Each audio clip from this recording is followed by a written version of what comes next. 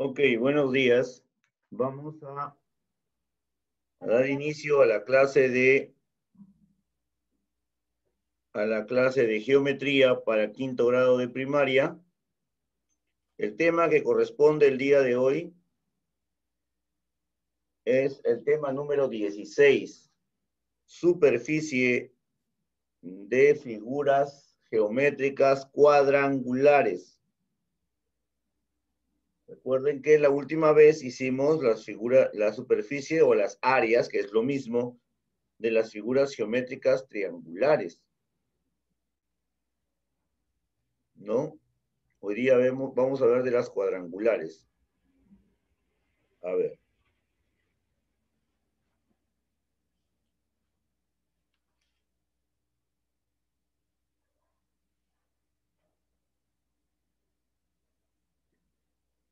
Y las figuras cuadrangulares, ya sabemos quiénes son. Aquellas que tienen cuatro lados, ¿verdad? Cuatro lados. Ok. Entonces, como decía, vamos a hablar hoy de eh, el área o superficie de figuras geométricas que tienen cuatro lados. ¿Ya? Cuatro lados. Ok, comenzamos entonces. Ah, profesor, Dime. ¿eh, ¿puede acomodar mejor un poco su micrófono, su audio? Porque no se escucha tan bien mucho, muy bien que digamos, eh, no se le escucha. No se me escucha bien. No, a veces, algunas veces se pone como más, no muy, ¿cómo se puede decir? No, no canta muy bien eh, su voz, Ya. no se escucha. A ver, entonces, decía que hoy vamos a hablar de las superficies, o dicho en otras palabras, de las áreas de las figuras cuadrangulares, aquellas figuras que tienen cuatro, cuatro lados. Comenzamos a trabajar una de las figuras que tienen cuatro lados, las más, la más conocida de todas, es el cuadrado, ¿verdad? El cuadrado. Y vamos a eh, hablar acerca de esta figura geométrica. Tenemos aquí al cuadrado, fíjate.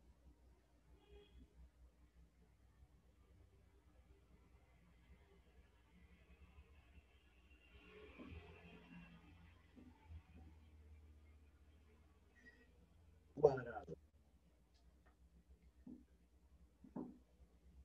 Ok. Profesor, no se le escucha bien ahí. tenemos al cuadrado. ¿Ya? Vamos a dibujarlo. Voy a graficar el cuadrado para explicar cómo hallo su superficie.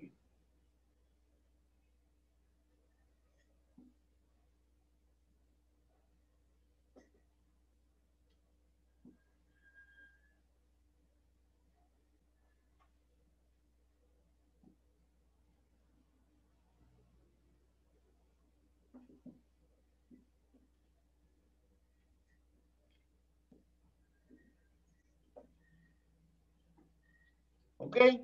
Un cuadrado tiene una característica particular, que tiene sus lados de igual longitud. Es, es decir, si este lado mide A, todos los lados van a medir A, porque esa es la característica que tiene el cuadrado.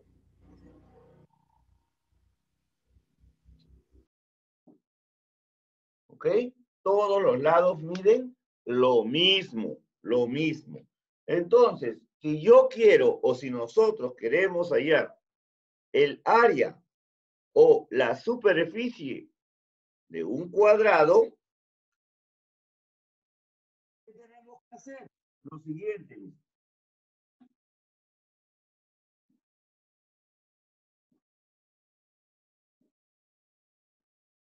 La superficie de un cuadrado se hallará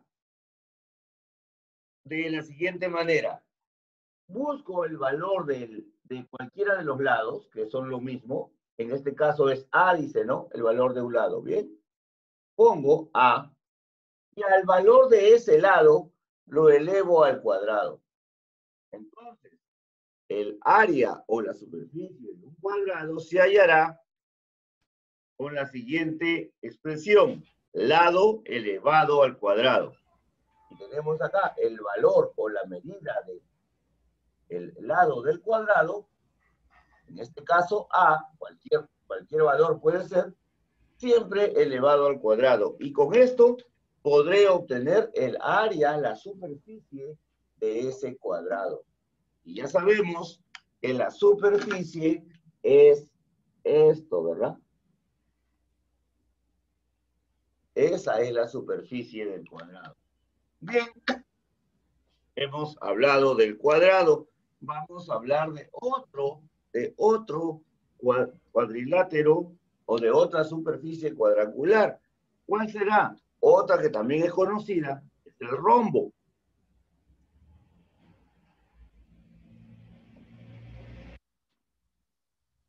Colocamos entonces rombo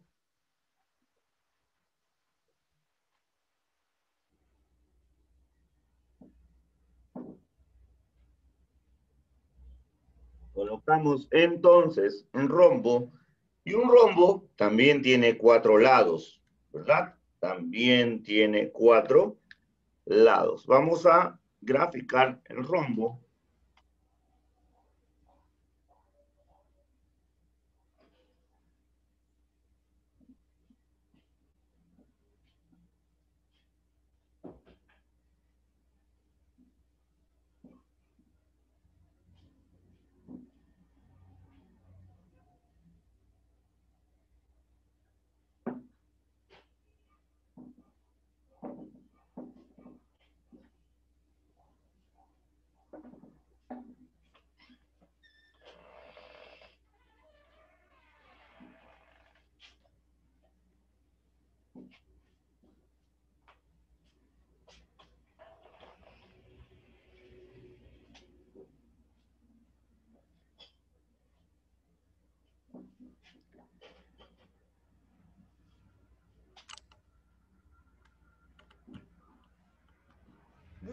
Ahí tenemos nuestro rombo.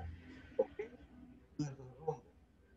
Y el rombo también tiene cuatro lados iguales. Es decir, que si este lado mide X, todos los lados van a medir X.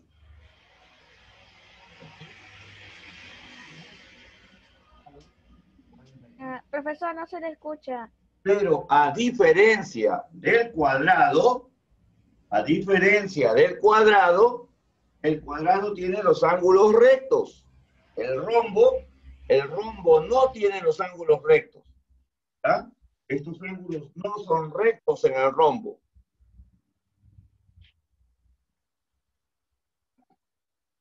Trazamos las diagonales trazamos las dos diagonales que tiene el rombo. Ahí está. Hemos trazado dos diagonales, las dos diagonales que tiene el rombo. Y ya sabemos que tenemos que hacer ahí. Lo siguiente, mira, esta diagonal tiene una medida, ¿verdad? Y esta otra diagonal tiene otra medida. Ambas cruzan en forma perpendicular. Quiere decir que forman un ángulo de 90 grados. Repito, al igual que el cuadrado, el rombo tiene los cuatro lados de igual medida, de igual longitud.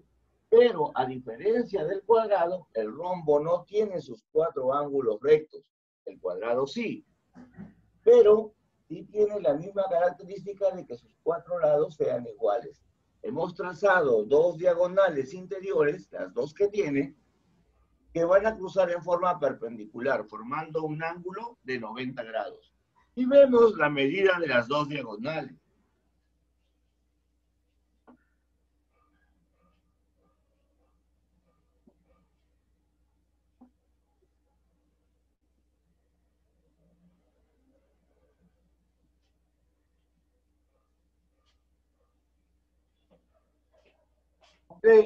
Tenemos ahí las dos diagonales. De aquí a aquí la primera diagonal horizontal, de aquí a aquí la segunda diagonal, esta vez vertical.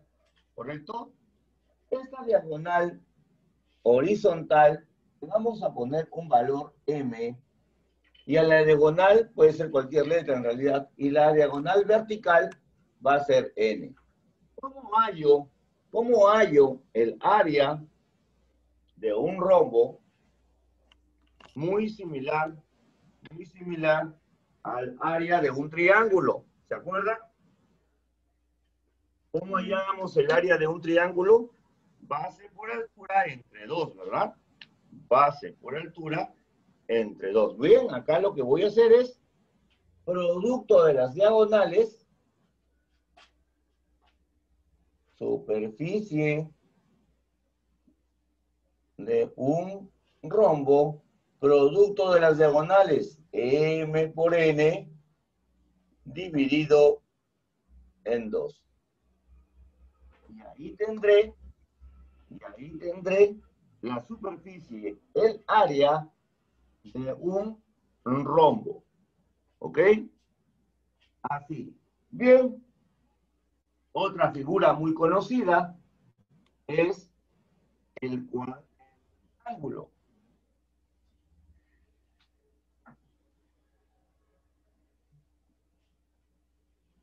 El rectángulo.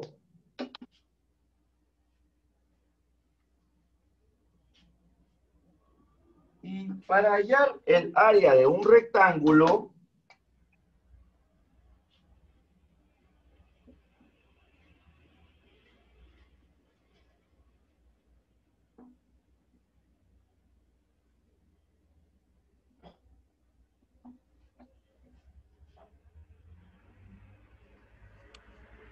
tenemos que multiplicar las bases. ¿Ok? A ver, fíjate. Tenemos aquí, estos dos lados opuestos son iguales. ¿Ok? Estos dos lados opuestos también son iguales. ¿Ok? Bien. También en un triángulo, perdón, en un rectángulo, la superficie, también la superficie era esta. Acá la superficie es todo esto, esto es el área, lo que voy a hallar. ¿Y cómo hallo esto? Esto se va a hallar de la siguiente manera. La superficie de un rectángulo es igual a la base, está acá, el lado más grande, llamaremos base, por el lado más pequeño, que llamaremos altura. Multiplicando ambos, yo hallaré el área de un rectángulo. Lado mayor por lado menor. ¿Ok? Multiplicando esto, entonces con eso obtendré el área, la superficie de un rectángulo. Veamos. Si quiero hallar el área de un romboide,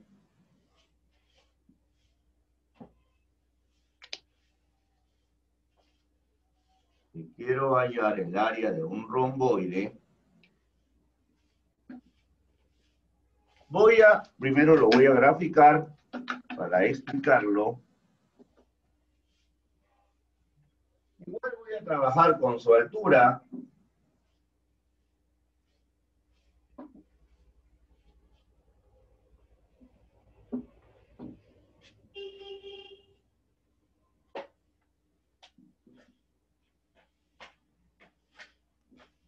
Igual voy a trabajar y con su base. A ver, si yo este ¿qué va a suceder acá? Va a suceder lo siguiente, fíjate bien. Nosotros tenemos que tener una altura, una altura relativa a la base. Es la base.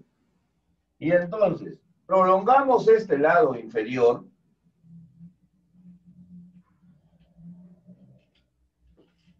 lo prolongamos y desde el vértice superior vamos a trazar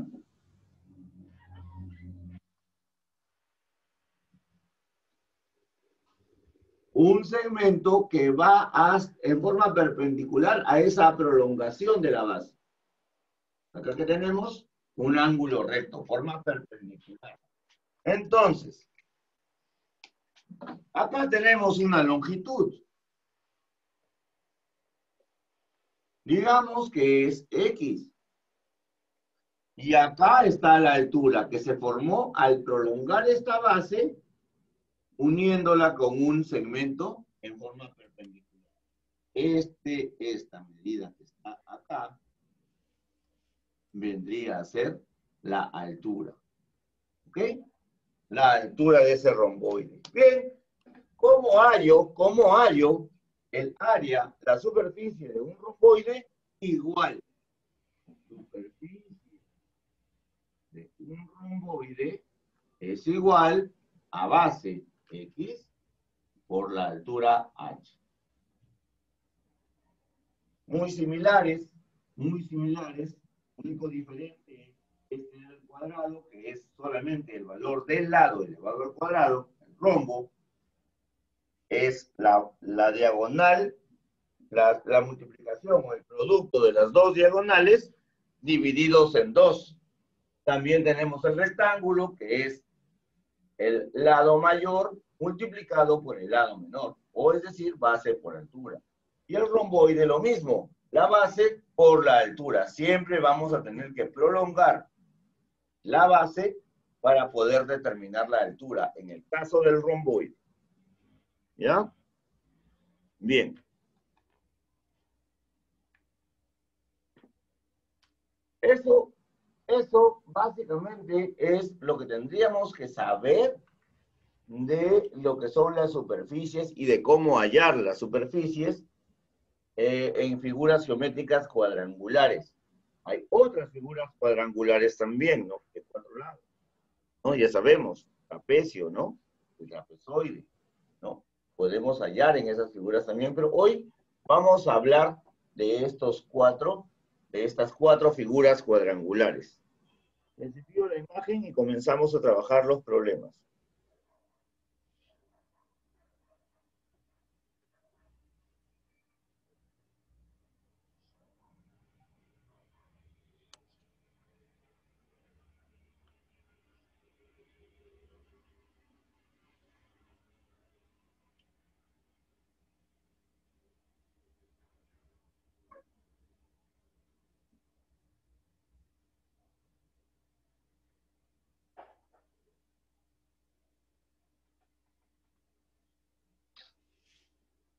Right.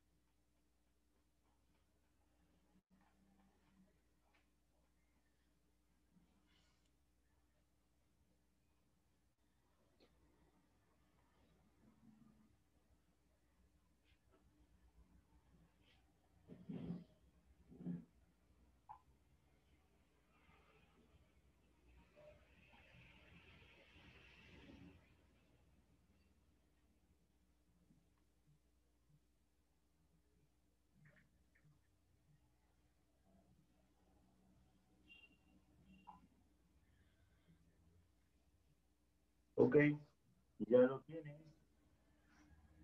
Ya lo tienen. Vamos a trabajar ahora los problemas. Ubíquense, por favor, en la página 62 de su texto, página 62 del libro de geometría, y vamos a comenzar a trabajar.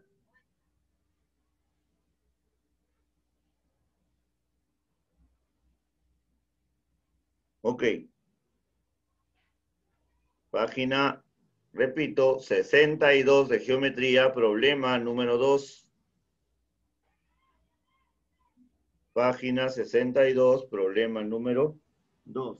Bien. Vamos a comenzar a trabajar esto, ¿ya? Comparto la pantalla. Y tenemos aquí el problema número 2. Dice, calcula el área de la región cuadrangular PQRS. Ya sabemos que esta región, por lo que veo, por lo que visualizamos, esto, esto es un cuadrado, ¿no? Cuatro ángulos rectos, me dan el valor de un lado, debo hallar esa región. Bien, voy a trabajar eso entonces. Eso será muy sencillo simplemente será el lado elevado al cuadrado, ¿no? El lado elevado al cuadrado será entonces 16 elevado al cuadrado. ¿Y cuánto es 16 elevado al cuadrado? Bueno, pues multiplicamos, ¿no? 16 elevado al cuadrado será 256.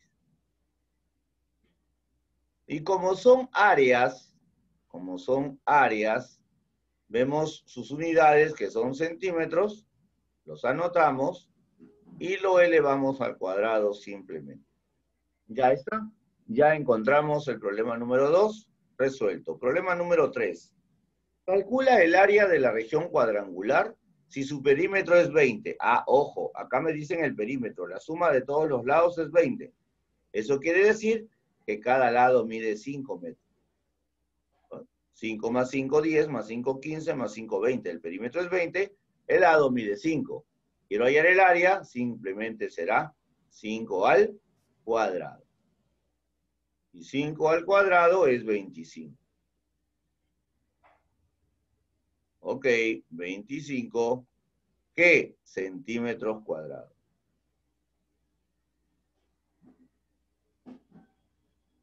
Ya está. Problema número cuatro. Calcula el área de una región cuadrada si su lado mide 12 centímetros. ¿Ok? Si el lado mide 12 centímetros, el área será 12 al cuadrado. Y 12 al cuadrado es 144. 144 en este caso, centímetros cuadrados.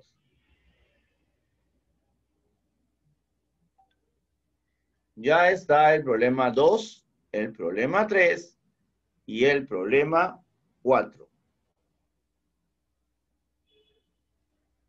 Les envío de igual forma la imagen para que lo tengan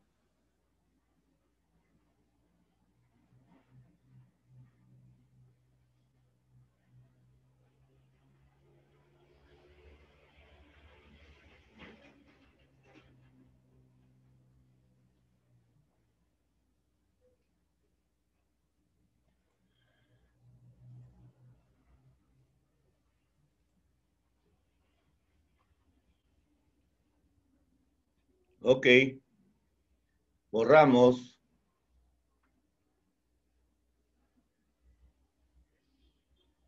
Pasamos al problema número, al problema número 5.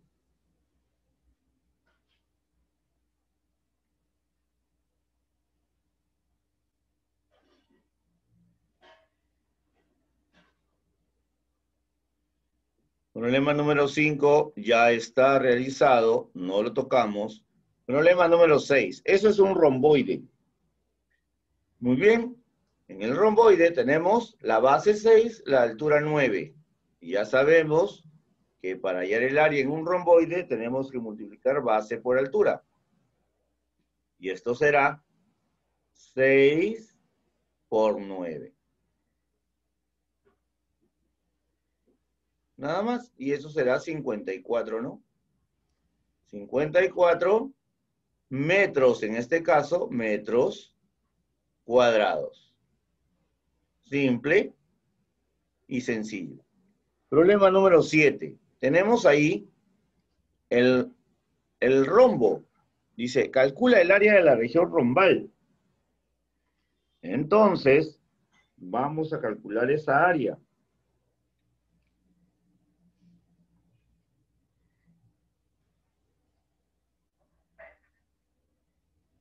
Vamos a calcular esa área. Tenemos la diagonal mayor, 10 metros, la diagonal menor, 4.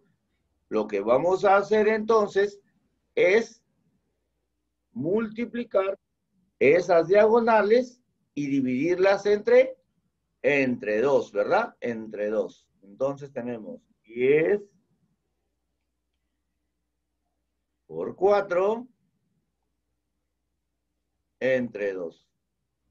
10 por 4, 40. Entre 2, 20. ¿No? 20 que, en este caso, metros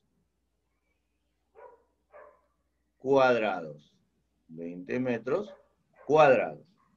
Muy bien, tenemos el problema 6 y el problema 7. Vamos a hacer otra vez la imagen.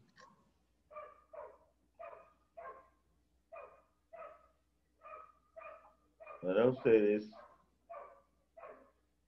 Se las comparto.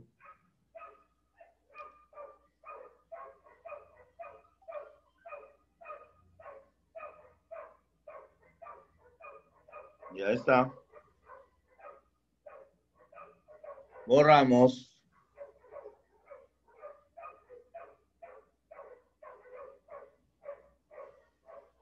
Y pasamos al siguiente problema. 8 no lo hacemos, ya está. Pasamos al problema 9. Calcula el área de la región rectangular PQRS. Tenemos el lado más grande, es decir, la base, y el lado más pequeño, es decir, la altura. Como hallo el área de un rectángulo, base por altura, ¿verdad? Base por altura. Entonces tenemos acá la base 22 por la altura 9.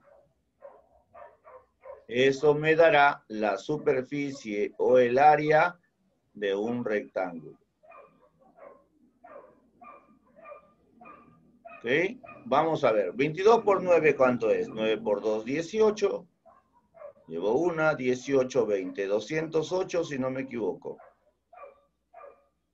¿No es cierto? Ya está. 208, ¿qué? Metros en este caso, porque son las unidades de los lados y siempre elevado al cuadrado cuando voy a expresar áreas. Número 10. Ah, profesor, profesor, se ha equivocado. Es eh, 198 por ahí. Ah, gracias, gracias.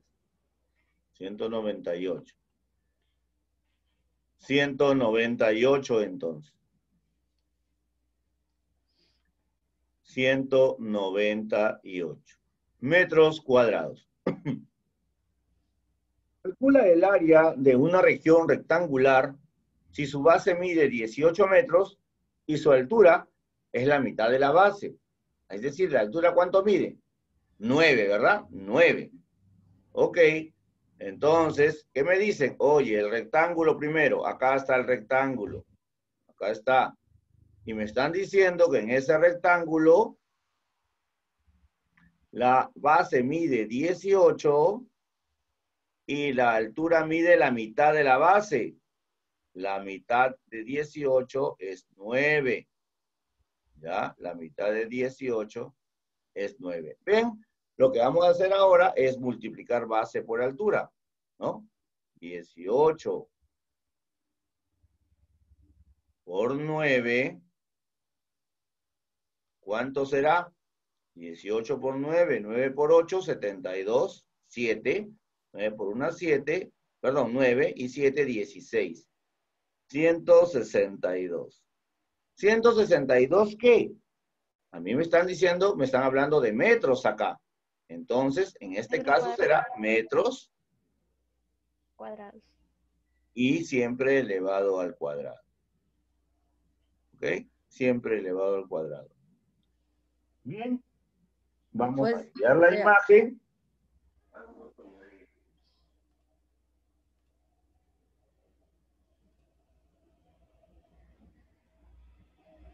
se las envío a ustedes.